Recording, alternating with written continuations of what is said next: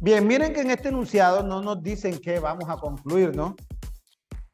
Y nos damos cuenta que no es posible aplicar reglas de inferencia directamente ahí. ¿Listo?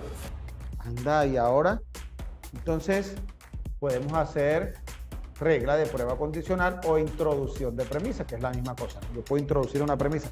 El asunto es cuál premisa voy a introducir. ¿Listo? Entonces, dicen por acá, profe, ¿puedo introducir la premisa que yo quiera? Claro que sí. El asunto es que te funcione de algo, ¿no? Si yo puedo introducir, por ejemplo, L. Uy, introducimos L. Obtenemos W y hasta ahí llegamos. Ah, voy a introducir K. Obtenemos N y hasta ahí llegamos. ¿Sí ven? Entonces hay que mirar qué premisa voy a introducir. Entonces vamos con... ¿Cuál sería la que más nos ayuda a introducir? Vamos a introducir M. Entonces 6. ¿Por qué M? Hombre, porque M lo vemos acá. Me desataría esta que está amarrada y S y T están en otras premisas más adelante. Así que creo que hay mayor desarrollo si introducimos M. ¿Listo? Entonces vamos a introducir M. Regla de la introducción de premisas o regla de prueba condicional. ¿Listo? Entonces, ¿dónde está M? Ya nos damos cuenta que M está entre 6 y 1. Tengo un condicional. Tengo el antecedente de ese condicional. Por lo tanto, tengo el consecuente de ese condicional. Es decir, 7, S y T. Modus poniendo ponens entre 1 y 6. Ok, pero ahora puedo simplificar, que era lo que querían hacer ahorita. 8 y 9. Entonces sería S y T. Simplificación en 7. Ya usé también 7. Ahora, ¿dónde aparece 8? 6, S, perdón en la 2. Entonces, 8 y 2 tendríamos una disyunción y tendríamos la negación de una de las dos, se obtiene la afirmación de la otra, ¿cómo es que se llama esa ley? L, modus tollendo ponens, entre 2 y 8. ¿Y ahora dónde aparece L?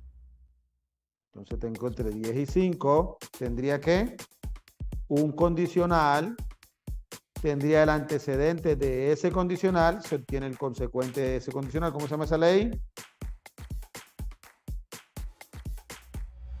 Modus poniendo ponens, afirmando afirmo entre 5 y 10. Ya W no aparece en más ninguna parte, entonces me voy con cuál no he usado. La 9 que aparece en dónde?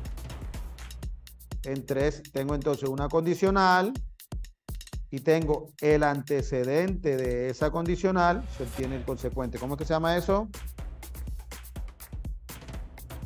Que obtenemos K, ¿verdad? Entonces eso es modus poniendo ponens. ¿Entre quién?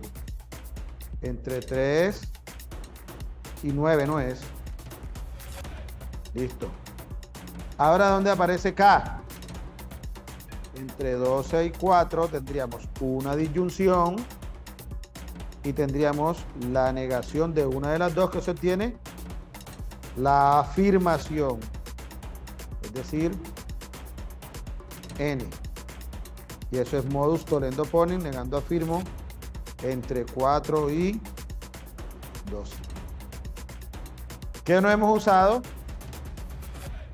11 y 15. ¿Qué podemos hacer con ellas dos? Entonces sería W y N adjunción entre 11 y 12 más 1. O sea que de este conjunto de premisas, agregándole M, se dedujo W y N. O sea, ¿qué se deduce sin, el, sin la M entonces? M entonces, W y N Y eso es regla de prueba condicional. Entre 6 y 14. Eso es todo.